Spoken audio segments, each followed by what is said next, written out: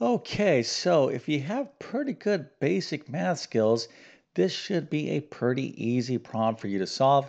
Matter of fact, let me go ahead and read the problem. It is the following. A broken clock loses one minute every two hours. How many hours does it lose in a seven day week? Okay, so feel free to use a calculator. And a lot of you uh, might be saying, This is the easiest math problem I've seen in a long time. Well, that is fantastic. Matter of fact, put your answer into the comment section. I'm going to show you the right answer in just one second. And then, of course, I'm going to explain this problem step by step. But uh, before we get started, let me quickly introduce myself. My name is John, and I have been teaching middle and high school math for decades. And it really is my true passion to try to make learning math as easy as possible. So if you need assistance in mathematics, check out my math help program at tcmathacademy.com. You can find a link to that in the description below. And if this video helps you out, or if you just enjoy this content, make sure to like and subscribe, as that definitely helps me out. Okay, so hopefully most of you are out there saying, but come on, Mr. YouTube Math Man, give me something more challenging than this. Well, let's just make sure uh, you got this problem right before we move on to more challenging problems. And here is the answer. So any one of these would be correct. 84 minutes or 1 hour and 24 minutes or 1.4 hours. Uh, so these are all equivalent.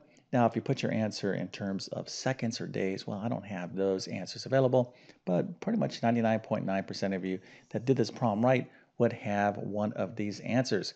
And if you have this answer, well, we have to celebrate by giving you a nice little happy face, an A plus, a 100%, and multiple stars. So you can brag to your friends and family that indeed you are a certified professional expert in the area of solving basic math problems. Now, unfortunately, your, your family's probably not going to be that impressed. They might say to some, yeah, well, you know, basic math, that's no, you know, big deal. Come back and, uh, you know, brag about your accomplishments when you do some calculus or algebra or whatnot. But anyways, listen, if you didn't get this right, you know, don't despair because my YouTube channel is all about being positive when it comes to math and making errors and getting things wrong in math is just part of the learning process. Okay, so you should never feel bad uh, if you didn't get something uh, right. Uh, but let's go ahead and make this uh, problem crystal clear to understand. And we're going to go ahead and get started right now. Okay, so the first thing we need to do is say, hey, look, we have a math word problem and you need to consider the rule of three. Okay, now what is the rule of three? Well, that means you want to read the problem at least three times. Now, I made this rule up, but it is a good rule. Okay, in other words, don't do anything. Don't start writing stuff down or start punching numbers into your calculator until you read the problem at least three times. So you have to kind of be disciplined about this because, you know, we get so excited.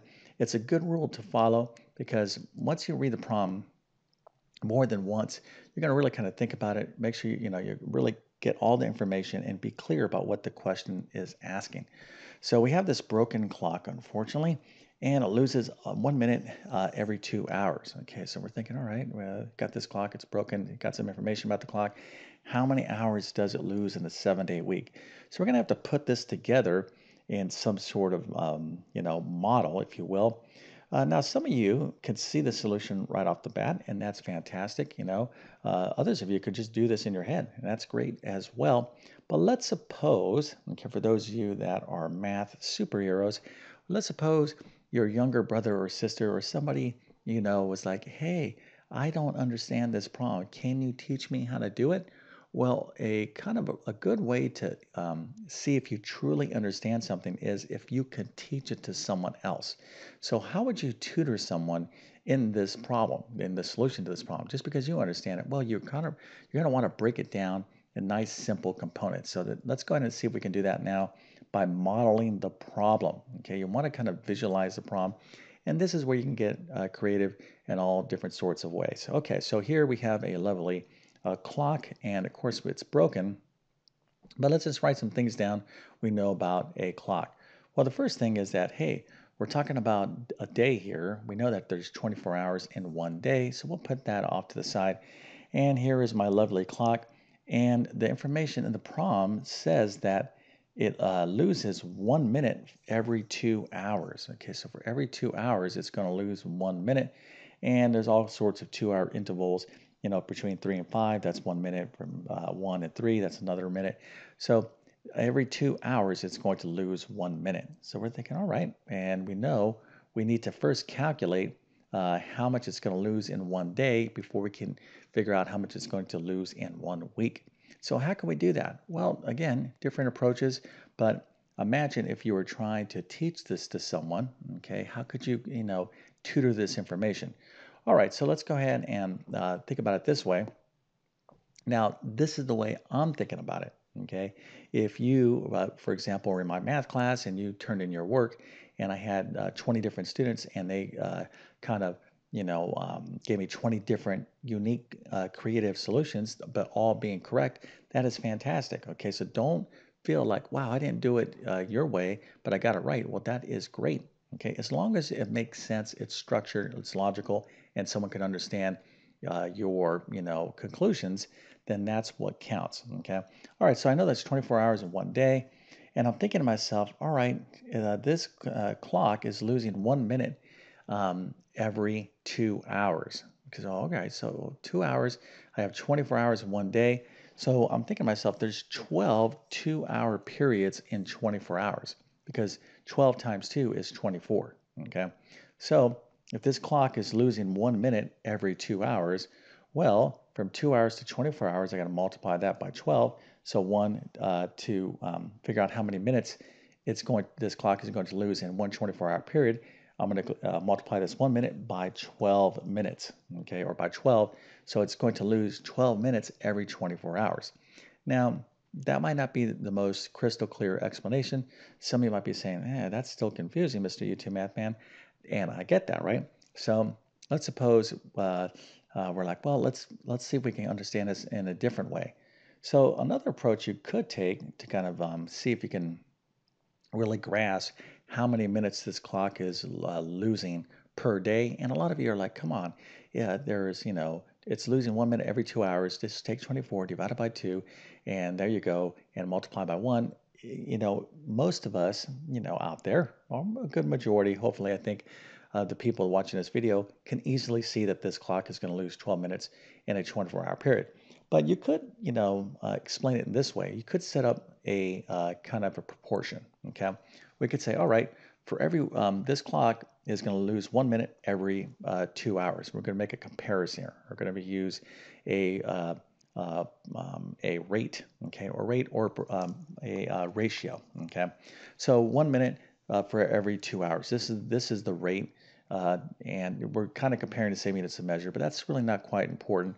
But basically, you just think of all right, we're losing one minute for every two hours. How many minutes are we going to lose in 24 hours? Okay, so we can set this up, and then we can use the cross product to figure this out. So in other words, one times 24 is 24. X times two is 2x, and then we can solve for x.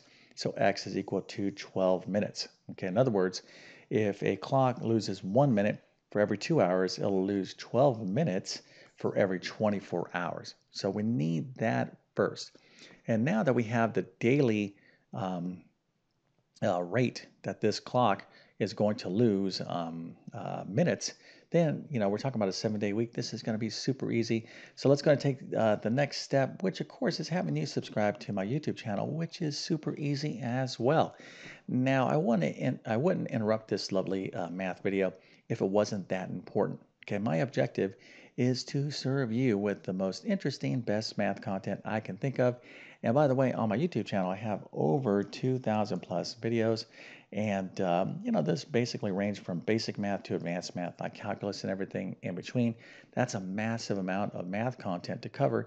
But I am so inspired and enthusiastic about mathematics that, you know, I'm doing these videos no matter what. But it really does help me uh, by you subscribing. Okay, that little tiny act really tells that algorithm, hey, you know what, push that content out and maybe other people that are interested in math or and especially need help in math could benefit from my content. Okay, I'm trying to pass on decades and decades of experience here to those people that need help in math because there's nothing worse than being frustrated with mathematics. Okay, I don't get it. I hate math. I want to quit. Please, please do not quit. Okay, that's my main message to those out there. You could be successful in math, and if anyone is telling you uh, something different, then you need to find, especially if it's a teacher, okay? If you're having a teacher that's saying, you know what, I think you're pretty bad at math, I have to confirm that. Uh, listen, you're going to have to find another teacher, okay? But typical, typically, good teachers aren't going to tell you that, okay? But if you yourself are telling telling you that you're bad at math, you need to put in the work, but most importantly, you need a teacher that can teach you in a way you like and understand. I'd like to fill that role. But, anyways, by you subscribing, it is a great way to support my channel. And make sure to subscribe as well so you can get my latest videos. All right, let's go ahead and finish up this super easy problem. So we have this lovely broken clock. It loses 12 minutes per day. Okay, we already figured that out. And now we want to figure out how much time it's going to lose over a seven, a full seven day week. Well, we know the daily rate, so we're just going to take that 12 minutes and multiply it by 7. So 7 times 12 is 84 minutes. And of course, we can just leave our answer this way, or we can convert, we can subtract 60 minutes, which is 1 hour. And so 60 minus, uh, 84 would be 24. So we could have 1 hour, 24 minutes, 84 minutes, or we can just take 84 and divide it by 60. We get the decimal 1.4 hours. So, um, you know, in the problem, it didn't specify, you know, uh, give me your give me the answer in minutes or seconds or hours and whatnot. So, but you have to be careful in terms of questions because sometimes questions will ask for specific units of measure. All right, so hopefully, you know, um, most of you, you know, I think got this problem right. This is pretty easy. Uh, math problem. And if you didn't, I certainly don't want to make you feel bad, but like, oh my goodness, I couldn't even get this basic math problem right. Well, listen, it's just because you've been away from math for a while. Now, I'm excited to tell you that I just came out with a brand new math course at the time of this video. It's called my Math Skills Rebuilder course. Now, you'll find a link to it in the description of this video, and it's uh, designed for those of you that have been away from math for like years and decades and who want to kind of maybe brush up on your math skills or maybe you know learn math better than you did in your school days. And if you're interested in this course i start off with basic arithmetic you know things that we're kind of doing here. And i teach you a ton of algebra and geometry and even some basic trigonometry. It's an, it's a great overall course and has a lot of practical value as well. Anyways you'll find a link to it in the description below. But uh, with all that being said i definitely wish you all the best in your mathematics adventures Thank you for your time and have a great day.